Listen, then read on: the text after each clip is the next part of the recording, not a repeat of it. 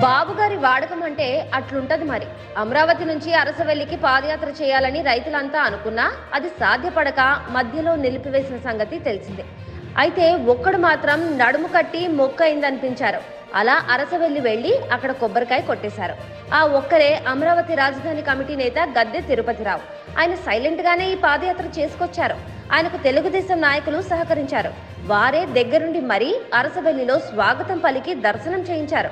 మొక్కిస్తామని చెప్పి తప్పుకోవడం భావ్యం కాదు కనుక తానే ఒంటరిగా వచ్చానని గద్దె చెప్తున్నారు. ఈ నెల పదకొండున రామచంద్రపురం నుంచి ఆయన పాదయాత్ర చాలా సైలెంట్గా స్టార్ట్ అయింది. ఆయన వెంట తెలుగుదేశం నేతలు అడుగడుగునా ఉంటూ అడుగులు వేశారు. అలా ఈ పాదయాత్ర తెలుగుదేశం పార్టీ స్పాన్సర్డ్ యాత్రగానే సాగింది. వైసీపీ ముందే ఆరోపించినట్లుగానే ఇది జరిగింది. గద్దె శ్రీకాకుళంలో మీడియా ముందు జగన్ ప్రభుత్వం మీద విమర్శలు చేయడం వెనుక తెలుగుదేశం ఉంది అంటున్నారు. జగన్ ఇల్లు కట్టుకున్నారు కాబట్టి అమరావతిని రాజధానిగా అంగీకరించినట్లు అని గద్దె కొత్త పాయింట్ తీసుకొచ్చారు. దానికి వైసీపీ నేతలు కౌంటర్ ఇచ్చారు. అమరావతిని రాజధానిగా తాము ఎన్నడూ కాదు అనలేదుగా అని వారు అంటున్నారు. అక్కడ శాసన రాజధాని ఉంటుంది.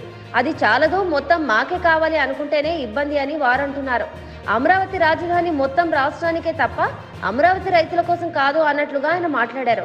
మొదట్లో ఏపీ జనాలు అదే నమ్మారు. కానీ ఆ విధంగా చేసింది కలరింగ్ ఇచ్చింది అంతా తెలుగుదేశం ప్రభుత్వం అని గద్దె మర్చిపోవడమే కాదు వారితోనే చట్టాపట్టాలేసుకొని అమరావతి అందరి రాజధాని అని నమ్మమంటున్నారు. ఇప్పటికే దాని మీద ఏపీలోని మూడు ప్రాంతాల జనాలలో ఒక ఖచ్చితమైన అభిప్రాయం ఉంది.